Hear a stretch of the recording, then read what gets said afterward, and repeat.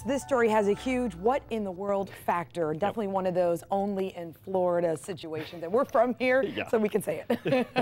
Absolutely. I mean, imagine driving down the road and then you see this in the back of a truck. Well, a woman took out her phone and started recording when she saw what she thought was a body.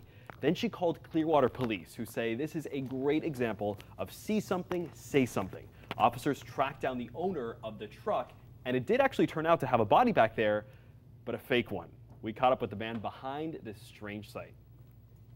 I received a call about, uh, it was about 9.30 at night, and it was from uh, two detectives from the Clearwater PD.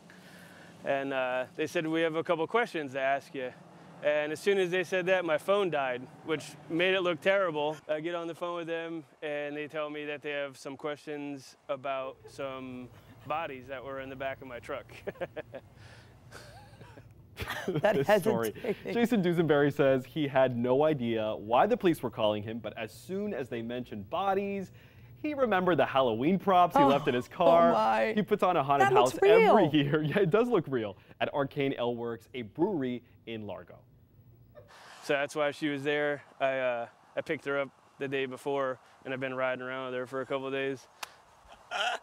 She likes to joyride sometimes. I was actually glad they didn't see when I brought some of the other stuff back, because it was a lot. It's a lot more realistic than her. So. Jason says he doesn't blame the woman for calling about this strange No, she did the right thing. Of You never course she did. know. Clearwater police also use the case to say you should never hesitate to call when you think you see something that doesn't look right. Um, by the way, Yeah.